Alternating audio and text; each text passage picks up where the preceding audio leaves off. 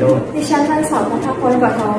วันนี้ก็เลยมานำเสนอการทดลองเรื่องสมดุลเคมีของปฏิกิริยาการเกิดเอสเตอร์ equilibrium of esterification ที่มาและความสำคัญ วัตถุประสงค์เป็นดังนี้ค่ะ สมมุติฐานแบ่งเป็น 2 ข้อดังนี้ค่ะ อุปกรณ์และสารเคมีที่ใช้และส่วนต่อไปนะคะจะเป็นวิธีการทดลองของเราค่ะ ก่อนอื่นนะคะ เราต้องทำการชั่งน้ำหนักสามีแต่ละขวดค่ะ ขั้นตอนที่ 1 นะคะทำการปีเปตกรดแอซิติกที่มีความเข้มข้น 14 โมลาร์จำนวน 0.5 มิลลิลิตรลงในขวดแก้วที่เราเตรียมไว้ค่ะ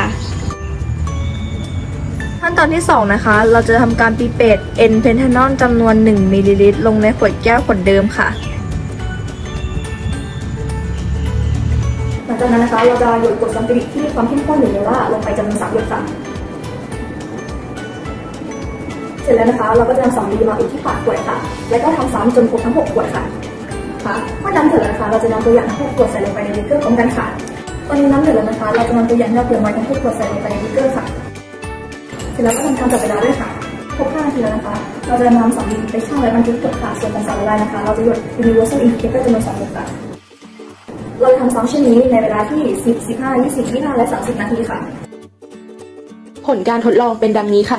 สรุปผลการทดลองเป็นดังนี้ค่ะ อธิบายผลการทดลอง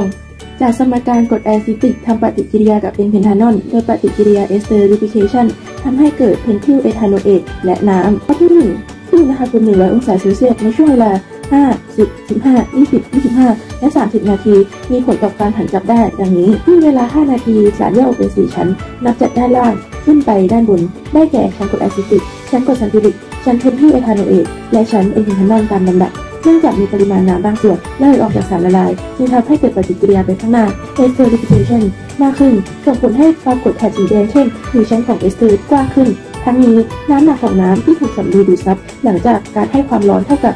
0.04 กรัม ที่เวลา 10 นาทีจะแยกออกเป็น 4 ชั้น เช่นเดียวกับที่เวลา 5 นาที ทั้งนี้แถบสีแดงเข้มและชั้นของเอสเตอร์ มีความกว้างมากกว่าที่เวลา 5 นาที เนื่องจากเริ่มมีน้ำส่วนมากระเหยออกจากสารละลาย ซึ่งส่งผลให้เกิดปฏิกิริยาไปข้างหน้ามากขึ้นกว่าที่เวลา 5 นาที จึงปรากฏแถบสีแดงเข้มหรือชั้นของเอสเตอร์ที่กว้างขึ้นกว่าเดิม ทั้งนี้น้ำหนักของน้ำที่ถูกสำลีดูดซับจากการให้ความร้อนเท่ากับ 0.06 กรัม ที่เวลา 15 นาทีสารแยกเป็น 4 ชั้น เช่นเดียวกันกับที่เวลา 5 และ 10 นาที แต่เนื่องจากในช่วงเวลานี้มีปริมาณน้ำที่เกิดการควบแน่นกลับมาในสารละลายมากขึ้นจึงทำให้เกิดปฏิกิริยาย้อนกลับไฮโดรไลซิสมากขึ้นปรากฏแถบสีแดงเข้มหรือชั้นของเอสเตอร์ที่แคบลง ทั้งนี้น้ำหนักของน้ำที่ถูกสำลีดูดซับหลังจากการให้ความร้อนเท่ากับ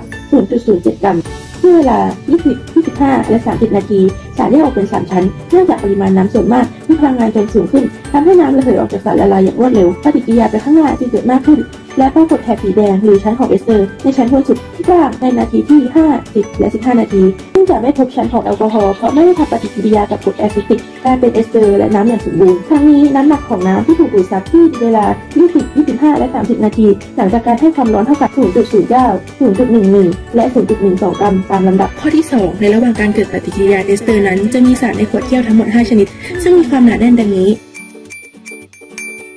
ทั้งนี้สารแต่ละชนิดมีความสามารถในการละลายได้ที่แตกต่างกัน จึงทำให้ก่อนการให้ความร้อน จะปรากฏว่ากรดซัลฟิวริกอยู่ชั้นล่างสุดกรดแอซิติกอยู่ชั้นที่ 2 และเอนเพนทานอลอยู่ชั้นที่ 3 โดยหลังจากการหยด universal indicator ซึ่งเป็นสารละลายสีเขียว มีค่า pH เท่ากับ 7ทำการหยดลงไปจะปรากฏว่าสารละลายของเราจะแยกสีออกเป็นสีชมพูเข้มของกรดซัลฟิวริกสีชมพูอ่อนของกรดแอซิติกสีส้มชมพูใสของเอนเพนทานอลสอดคล้องกับสีที่ปรากฏจากการทดลองลงบนผังปฏิบัติการ หลังจากการให้ความร้อนแก่สารละลายที่เวลาต่างๆ พบว่าเอนเพนทานอลมีความหนาแน่นที่น้อยกว่าเพนทิลเอทาโนเอตซึ่งปรากฏว่าชั้นบนสุดเป็นชั้นของเพนทานอลและชั้นถัดมาเป็นชั้นของเอสเตอร์เพนทิลเอทาโนเอตสำหรับในชั้นของกรดซัลฟิวริกเดิมกรดซัลฟิวริกมีความหนาแน่นมากที่สุด แต่เนื่องจากกรดซัลฟิวริกสามารถละลายในน้ำได้มากขึ้น ชั้นของสารละลายซัลฟิวริกละลายอยู่ในชั้นที่ 3 จะปรากฏเป็นชั้นที่แถบสีชมพูเข้มขนาดเล็กเนื่องจากกรดซัลฟิวริกเป็นกรดแก่จึงปรากฏเป็นสีชมพูดังผังปฏิบัติการ และในชั้นสุดท้ายคือชั้นของกรดแอซิติกจะพบว่าเมื่อเวลาผ่านไปกรดแอซิติกมีความหนาแน่นที่มากขึ้น เนื่องจากปริมาณน้ำมีการระเหย